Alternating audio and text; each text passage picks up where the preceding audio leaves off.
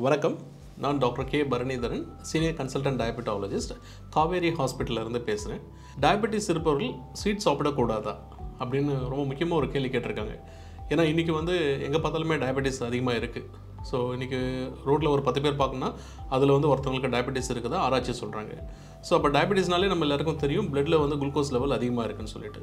So அப்போ ஏற்கனவே glucose இருக்கிறப்ப நம்ம ஸ்வீட் எடுக்கிறது நல்லதா கெட்டாதான்னு எல்லாருக்குமே தெரியும். ஸோ அப்போ டயபெட்டிஸ் இருக்கிறவங்க வந்து ஸ்வீட் சாப்பிட்டா கண்டிப்பாக வந்து சுகர் லெவல் கூட போகும்.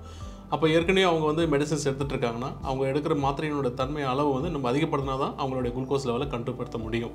ஸோ அதனால் என்ன கேட்டால் டயபெட்டிஸ் இருக்கவங்க ஸ்வீட் சாப்பிடக்கூடாதுன்னா கண்டிப்பாக கூடாது.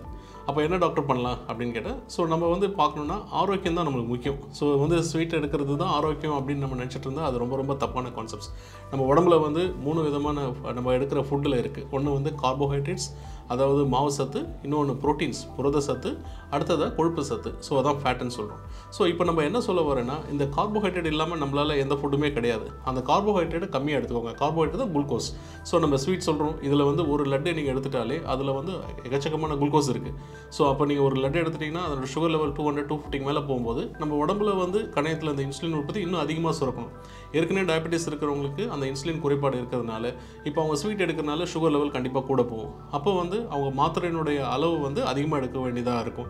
ஸோ அதனால் பெட்டர் நம்ம இதை அவாய்ட் பண்ணலாம். லோ கார்போஹைட்ரேட் அதாவது கொஞ்சமாக நம்ம வந்து கார்போஹைட்ரேட் எடுத்துகிட்டு அதிகமான நல்ல ப்ரோட்டீன்ஸும் ஃபேட்ஸுமே எடுத்துக்கிட்டால் நம்ம குளுக்கோஸ் நல்லா கண்ட்ரோலாக வச்சுக்கலாம். அதே நேரத்தில் ஆரோக்கியமாக வாழலாம். ஸோ நம்ம வந்து ஒரு டயபெட்டிஸ் இருக்குன்னா நம்ம அது ஆரோக்கியமான உணவு தான் தேடி போகணும். ஸோ கண்டிப்பாக வந்து டயபெட்டிஸ் இருக்குன்னா ஸ்வீட்டை வந்து அவாய்ட் பண்ணுறது ரொம்ப நல்லது.